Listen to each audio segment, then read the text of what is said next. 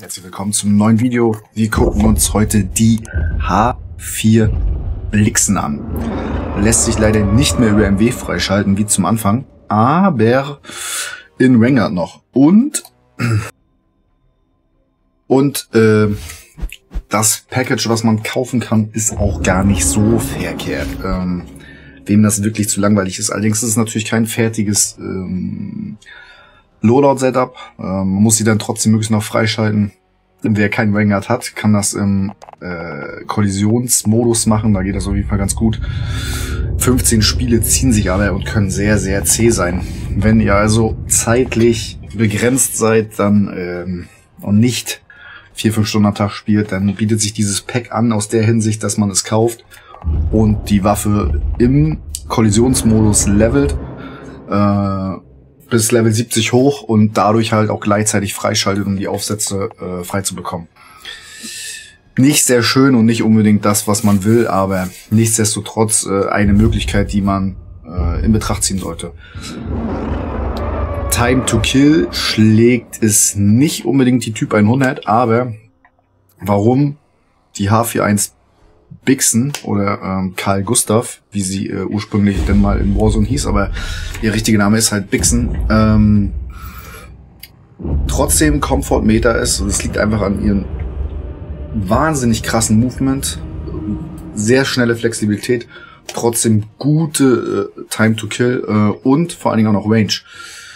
Wenn wir die Typ 100 also aus der letzten Season nehmen, sind wir immer noch bei einer sehr, sehr, sehr, sehr starken äh, Time to Kill. Dürfen aber nicht vergessen, dass wir das 36er Magazin haben. Nehmen wir das 36er Magazin bei der H4 Bixen, kommen wir sehr, sehr, sehr krass auf diesen Typ 100 äh, Time to Kill Wert ran. Aber das, was die Waffe halt äh, so außergewöhnlich macht oder so gut macht, warum sie halt ein Meta Changer ist, beziehungsweise äh, ja, die Comfort-Meter ist, ist ihr größeres Magazin. Also es wäre Bullshit, die Waffe mit dem 36-Schuss-Magazin zu spielen, wenn man Typ 100 spielen kann. Aus dem ganz einfachen Grund, weil mit dem 36-Schuss-Magazin die Typ 100 auch ein sehr gutes Movement hat. Nicht an die äh, Bixen rankommt, aber ähm, ja, warum sollte man das machen, wenn man die Möglichkeit hat, mit 54 Schuss oder 56 Schuss Magazin zu nehmen? Das jeweils größere macht nicht so wirklich Sinn. Ich blende trotzdem nochmal kurz die Time-to-Kill-Werte ein. Äh, sehr gut zu sehen ist da auch, dass nach der Bixen äh, schon fast die MP40 kommt, äh, trotz ihres Nerfs in Mid-Season 2, bin ich der Meinung. Bin mir jetzt nicht ganz sicher, aber Mid-Season 2 äh, hat sie halt noch gute Werte auf Close, aber ihr Bullet Drop bei 11 Metern ist halt einfach kacke.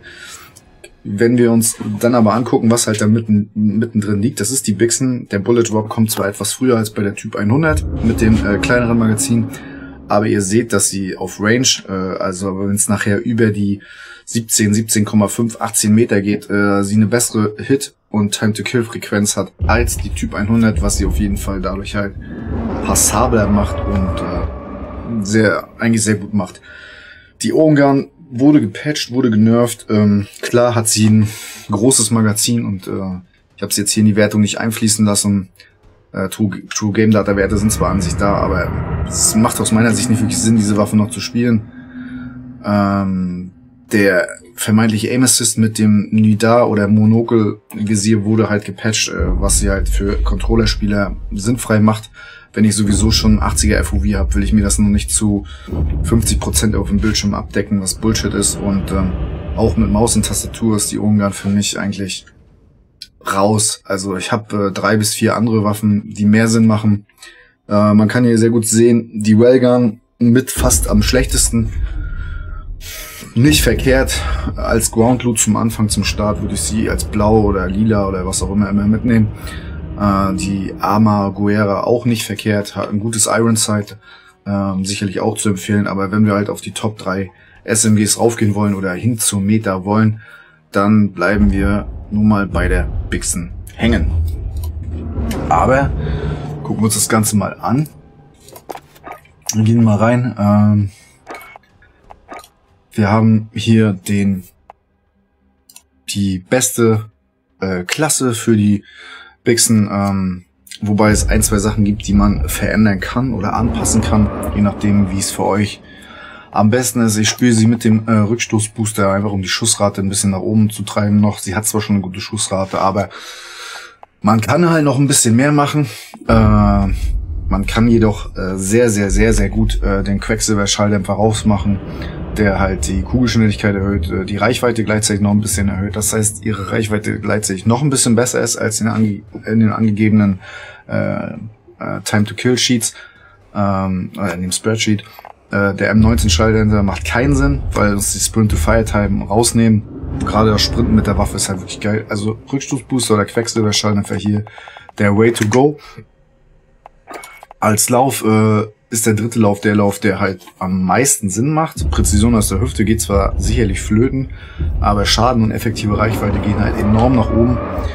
Ähm, wir haben jetzt hier einen Salvenmodus, der ekelhaft ist. Wenn ihr die Waffe schon mal grau, glaube ich, aufgenommen habt. Grau. Ich glaube grün. Ich bin mir nicht sicher, ob bei grün auch noch. Dann hat sie halt Einzelschuss Salvenmodus, was sehr irritierend ist. Und äußerst scheiße ist. Äh, der erste, darüber brauchen wir nicht reden. Der nimmt euch halt Schaden und äh, Kontrolle zu hoch. Der letzte Lauf wäre der einzige Lauf, der halt noch so ein bisschen ähm, in Frage kommen würde. Aber was neben dem, neben dem Movement, neben dem Movement, neben dem Magazin noch mega ist mit der Waffe. Ähm, seht ihr in dem Gameplay, was ich hier kurz einblende, ist diese unglaublich schnelle Zeit ins Visier, was wirklich gestört ist. Wir bleiben also bei dem Lauf, nehmen den Schiefereflektor mit, nehmen für das Movement den Schaft mit, äh, wenn ihr wirklich Probleme mit dem Rückstoß habt. Aus was für Gründen auch immer. Dann kann ich euch hier den Skelettlauf empfehlen. Der raubt euch zwar wieder Movement, aber macht die Waffe um einiges präziser und kontrollierbarer, obwohl ich sagen muss, dass ich den Rückstoß jetzt nicht so scheiße finde. Also er ist äh, durchaus kontrollierbar und annehmbar. Die Waffe zuckt nicht überall hin.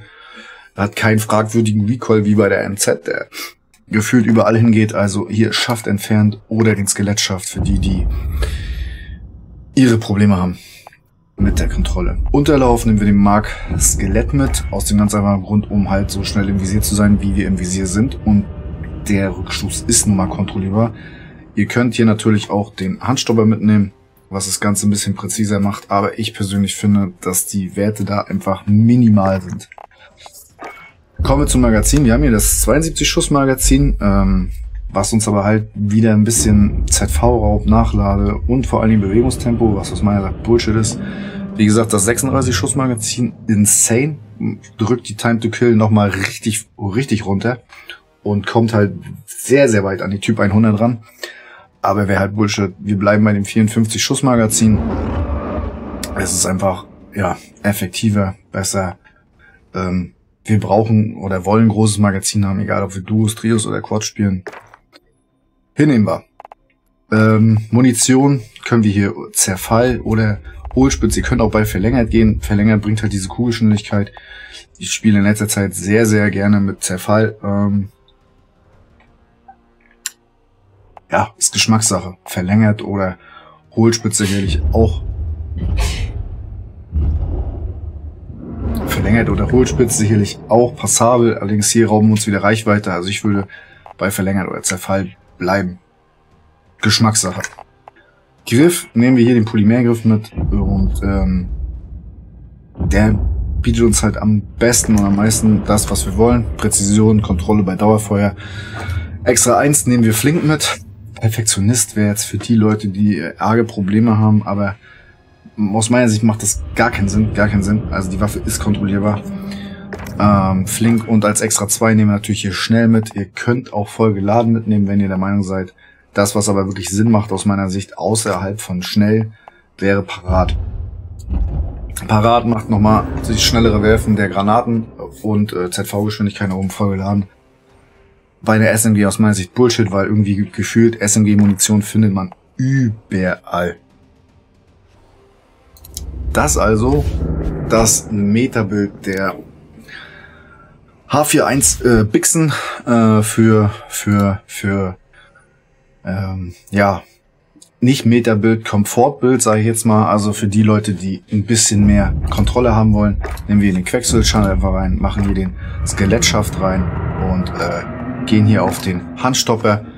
Das wiederum wäre dann äh, das äh, Bild Comfort Before Meter Äh, nimmt euch ein bisschen Schussrate, nimmt euch ein bisschen Flexibilität in der ZV-Geschwindigkeit, aber macht euch halt wesentlich kontrollierbarer und einfacher in der Handhabung. Aber probiert ruhig äh, das andere aus. Ist insane, ist wirklich gut. Ähm, schöne Runden mit der Waffe gehabt, wirklich Spaß gemacht.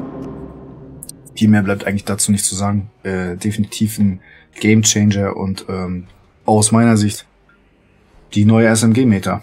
Ähm, Gerade weil die Typ 100 auch so einen starken Recoil hat und sie nicht jeder kontrollieren kann, ähm, ist sie halt nicht so gern gesehen und sehr viele sind auf die Amorogera oder auf die Railgun umgestiegen, die euch aber halt ein bisschen schlechter macht. Ähm, die Waffe lohnt sich also auf jeden Fall freizuschalten. Ob ihr die Zeit investiert und das in Vanguard macht oder euch das Bundle kauft, das bleibt euch überlassen. Was euch nicht überlassen bleibt, ist diesen Kanal zu abonnieren, gefällt mir zu drücken und äh, bei Twitch mal reinzuschauen. Schöne Woche. Wir sehen uns zum nächsten Mal.